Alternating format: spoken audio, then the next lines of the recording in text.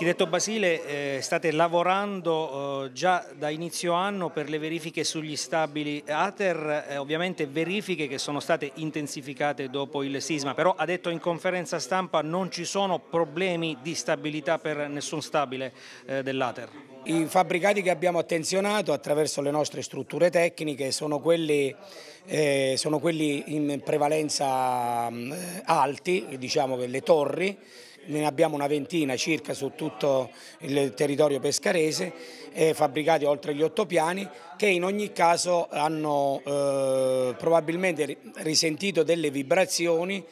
e in qualche modo ehm, hanno reso più evidente qualche fenomeno già peraltro in atto derivante da una manutenzione, da una manutenzione che manca. E quindi su questo dobbiamo fare il punto della situazione anche con la Regione per mettere a punto una strategia eh, opportuna per far fronte almeno alle evidenze quelle più, più immediate. Noi puntiamo all'obiettivo che in un mese abbiamo i, rilievi di tutto ciò che è il danno nel patrimonio regionale, il danno reale, per fare questo c'è la necessità di intervenire con un numero significativo di tecnici rilevatori e quindi modifiche normative e soprattutto qualche disponibilità finanziaria per dare alle ATER e a quanto è a disposizione per il meccanismo dei controlli la possibilità di poter rilevare con dei tecnici i danni.